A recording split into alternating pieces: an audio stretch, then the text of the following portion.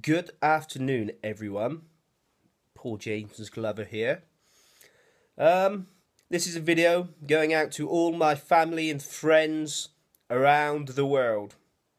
It is now 2014, and I have been ill since New Year's Eve. I've been sleeping and I've been hibernating, and I'm finally feeling myself again, which is good. So, I would like to wish you all a happy, a prosperous, and a happy and successful 2014. I mean it right from the bottom of my heart. Over and out.